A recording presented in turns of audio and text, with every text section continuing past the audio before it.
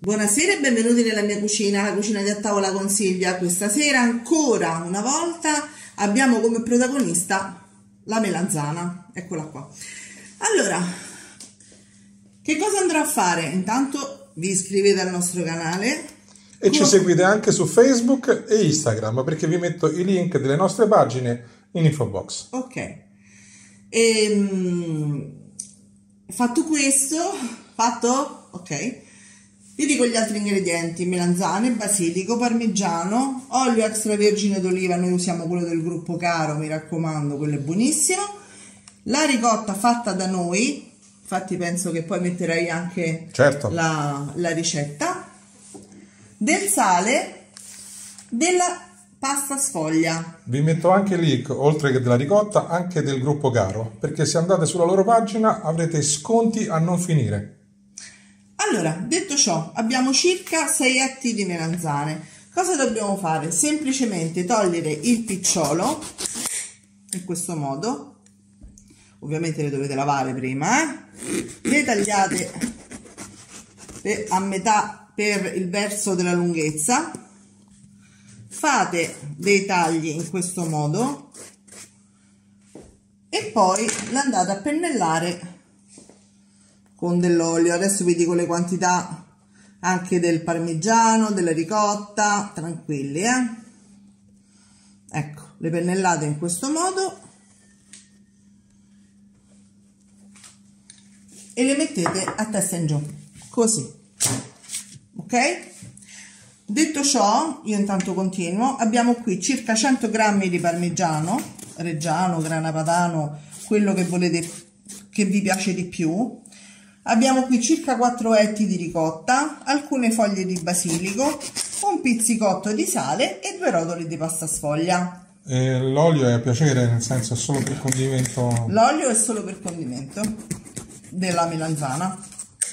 Perfetto. Ok? Quindi adesso andiamo a mettere le nostre melanzane per un'ora a 180 gradi nel forno, forno statico, va benissimo, e ci, rivediamo, e ci rivediamo a melanzane pronte.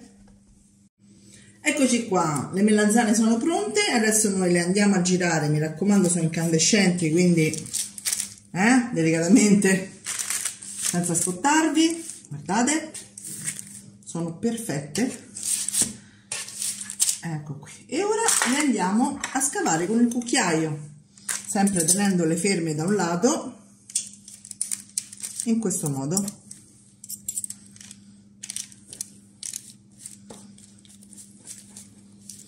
Se no aspettate che si raffredda. Io già ho messo il basilico tritato dentro alla ciotola. Adesso andremo a mettere tutti gli altri ingredienti. Quindi scavo tutte le melanzane e ci rivediamo tra un attimo. Eccolo qua la nostra polpa di melanzane con il basilico sono nella nostra ciotola. Eh, la lasciamo grossolana in questo modo. Ci mettiamo il parmigiano un bel pizzicotto di sale perché ricordo che alle melanzane io non ho messo sale eh? e la nostra ricotta. Nostra, veramente nostra.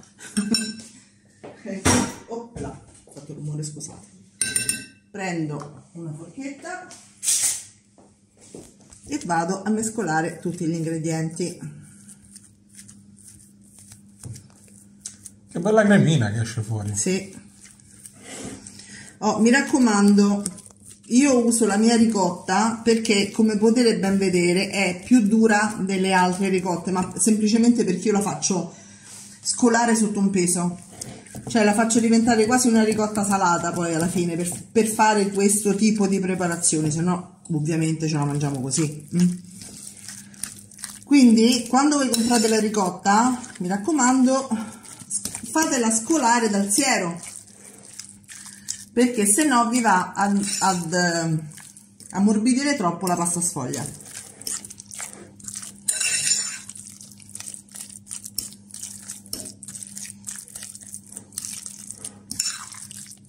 Ok allora in questo modo potete fare o un rotolo oppure dei fagottini.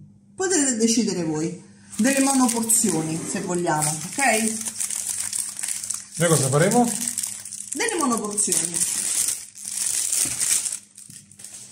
Almeno ognuno prende la sua. E non ci rubiamo... No, non, non ci sono problemi di, neanche di fuoriuscite, di... di eh, insomma, niente. Eh, ok? Allora, questa è la pasta. Vado a dividerla in quattro.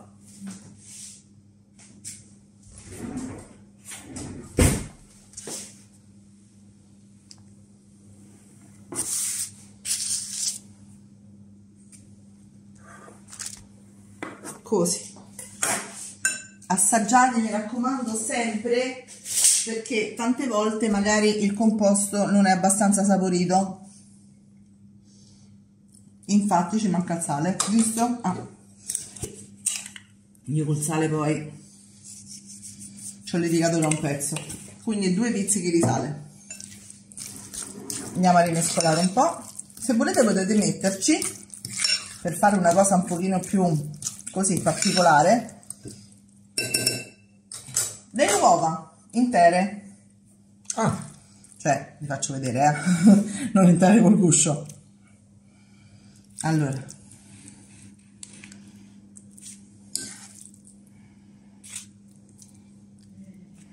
Così.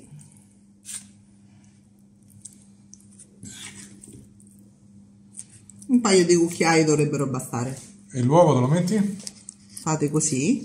Ah, il buchino in mezzo ci metti l'uovo. e nel centro ci mettete l'uovo Solo il rosso? tutto quanto. Ok. Buona idea. ricoprite con l'altra pasta sfoglia. Chiudete con le dita poi andiamo a sigillare con la forchetta. Pulita ovviamente